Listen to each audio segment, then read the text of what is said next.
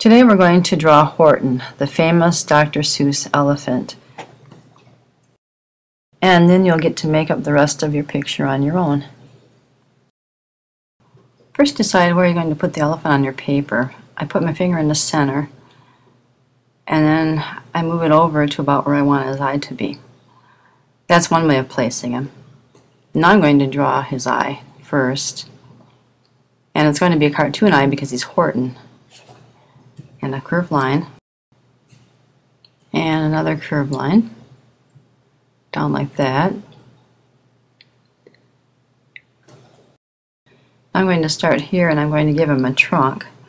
So I'm going to make a curved line that comes from here and goes wherever he has his trunk. Now right here draw a curved line like this and another curved line and just let it follow right alongside the other curved line until you've made his trunk. And you can put some lines on it like that. Okay, now start right here and make a line back, curved line. Okay, another curved line like this. Coming up, that's going to be his ear, like that. And a curved line inside it, like that.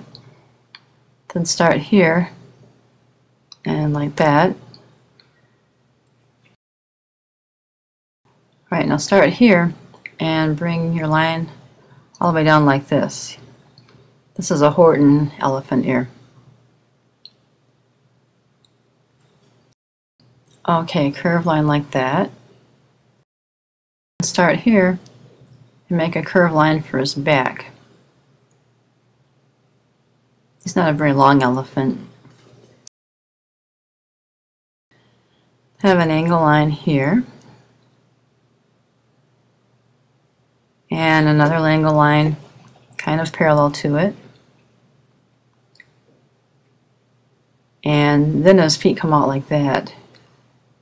He's really remember he's not a real elephant. Line here. And there. And don't forget his toenails Alright, start here and make a curve line. Bring it over a little bit more.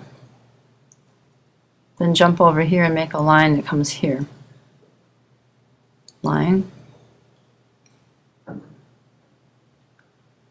another line. And a curve line. And some toenails. And another curve line and his tail. Now this is a picture of Horton. Now it's up to you where to put Horton and how much company you want to give him.